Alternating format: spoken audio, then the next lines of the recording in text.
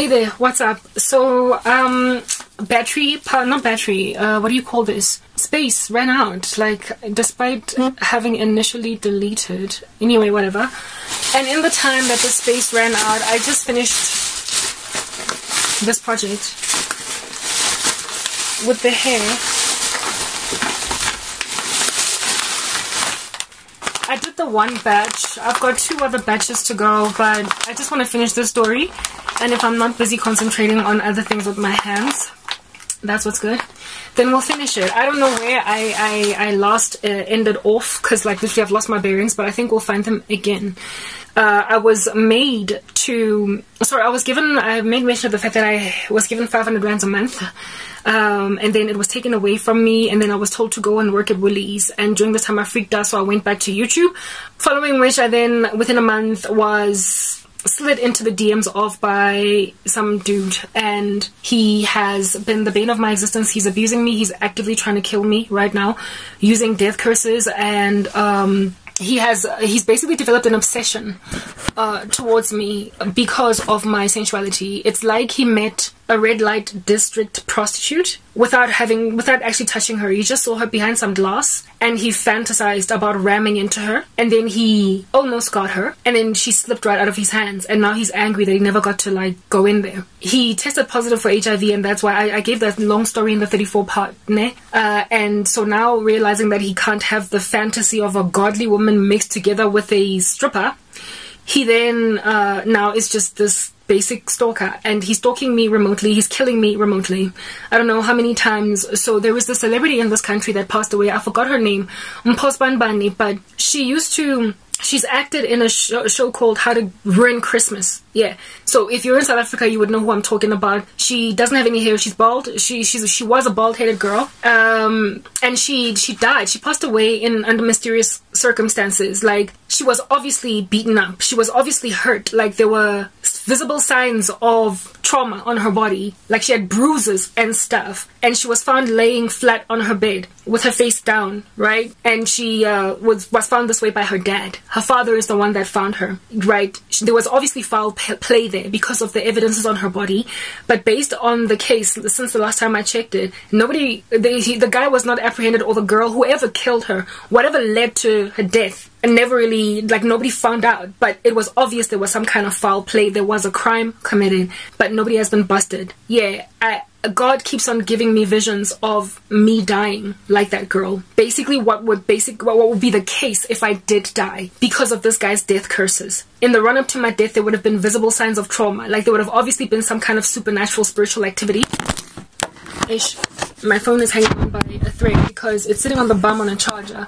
I don't have a stand and anything. Well, I do actually have a stand, but it's like back there. But if I had got a stand, I'd have to put it back there. Anyway, whatever. Let's just hope it stays this time yeah, no, this this chick um, passed away under those conditions, right? And when I found out that she had passed away, I was like, oh my goodness, that's unfortunate. That that really sucks, actually. Um, I did let you guys know that I come from a season of watching a whole bunch of nonsense on Netflix, so that's how I found her through that show. Yeah, how to ruin Christmas. She died under those conditions, and the Lord showed me that, right? So the girl was found by her dad, lying face down on her bed and there were obvious signs of trauma. God was showing me that if I don't clean up my act and basically go to war with this guy, I will find your dead body, my daughter, and there will be obvious signs in the run up to your death that you're being harassed spiritually. It will be clear from your social media accounts that you were cursed, that there was a whole bunch of witchcraft going on, but nobody will be able to identify your murderer. And I will rock up and, in all of my devastation, be the one to find your dead body. Yeah, so God keeps showing me my death basically being like that woman. But of course, He is my protector, my shield, and my coverer. So He would never ever let that happen. But He has been giving me flash visions of that woman's death ever since, right? Yeah, that that's basically what what's uh, going on here. This guy is actively trying to kill me, and the last 34 part series that I did, I literally said, guys, SOS, there is a man trying to kill me right now. Like literally, he's he's. The last dream I had about him was about two nights ago. Mm-mm, not two nights. I, I get dreams about him every night, but the last really violent dream that I got about him was about two nights ago, where you know when a person is punching a person like like on the floor that's already unconscious. I had a dream of this dude just punching somebody on the floor and they were already unconscious. They like stop.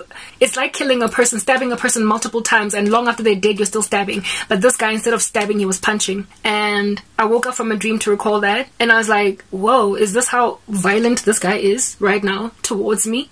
And God was like, yeah, that's exactly what this dude is doing. Like that's how much he's investing in your death. He's trying to get you to die. But remember, I told you in my dream, I couldn't see who was being punched. Hmm. It was like he was like a punching into air.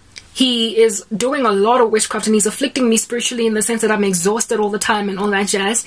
But he's not actually hitting me. He's hitting blanks. I keep on getting dream. I had a dream of him like hitting his pistol, his gun on some try you know when you hit a TV to check for signal but he was doing that with a gun. On some why isn't it working? Why isn't it working? Just this morning I woke up seeing him having recalled a dream where he was sitting in a corner very small. He was a tiny little man. And he said to himself she's not dead. She's not dead. Witchcraft has a sell by date. Uh, people who practice witchcraft like the occult uh, who have come out of the darkness who have done death curses they often speak about how it is that a person has to die from within a certain range of time after they have cast their spell and if they don't die by that time, then hi, something is covering them, something is protecting them. Well, from what the Lord has shown me, the time with frame within which I was supposed to die has progressed. How does this guy know I'm not dead? He's checking out my YouTube channel. Uh, and when I upload content, well, obviously I am not dead, right? Um, he keeps on coming there to bewitch me extra. He's just a psychopath. He's just a stranger that has become obsessed with a woman he couldn't have. And the reason why I'm in this position being killed by a, a foreign stranger is the fact that my family has been abusing me and this dude feels like it is his prerogative to finish me off. So he's a very satanic man and there's like, well, from what I see, not really much I can do for him. I don't know what in the world is going on with this guy. I don't care at this point. I have just been surviving him by the skin of my teeth. God wants me to knock him out altogether. Like, altogether. And there is a spiritual way to knock him out. And the Lord has been showing me I need to strengthen myself to conquer or to prosper, to knock him out and not only him, but many of the other petty witches. So he is the most obsessed uh, obsessed at the present moment with me. But there are every so often some random ex friend of mine that might just get an idea to cast a let me make sure Karabo never rises again spell. And then she goes back to her job. And then there's another person that's like, let me make sure Karabo never gets her job. Like, there are people who keep on just going back to take care of their existing witchcraft and then they leave again. But this dude is actively looking at me and working on the daily. And the things that he is sending my way are causing a lot of depression, melancholy. I'm getting a lot of nightmares of ropes. Um, like, around my neck kankani oh just two nights three or two nights ago i had a dream of him you know trata hang hanga ah, this these metal wiry hangers for clothing he had unwound a, a, a, um, a wire of that nature and pulled he was pulling me by it so I would die. He's investing in lots of witchcraft and he is paying. So he tried himself to do a death curse in his own environment because he's practicing within his own capacity. But he got frustrated by his weakness and he imagined he needed something stronger. So he paid some satanic woman from Jamaica to help him. He's now going outside of himself using money he doesn't even have to pay dark men. Well, it's a woman that he showed me that is known for succeeding with death curses. And this now woman is who is sitting on me. And this time around, it's getting so dangerous for me because of the level of depression in my body that God has basically has been whispering into me, telling me fast, fast. Let's go to the next part.